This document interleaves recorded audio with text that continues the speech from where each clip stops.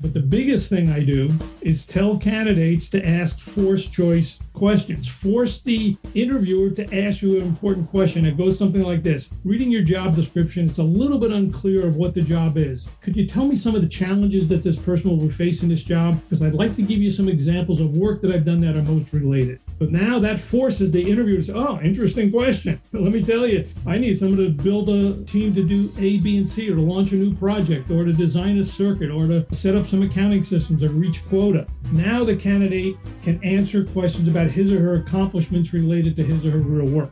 So that's the idea is to get talk about work, get the hiring manager to define the work as a series of performance objectives. But what's interesting is just asking the question. Would you tell me a little about the job rather than being this little soft puppy trying to answer questions cleverly? You've taken control of the interview and you're being asked questions that are meaningful and appropriate to do the work. So you get credit just for asking, well, this person's pretty aggressive. Even if you're soft spoken, you're aggressive.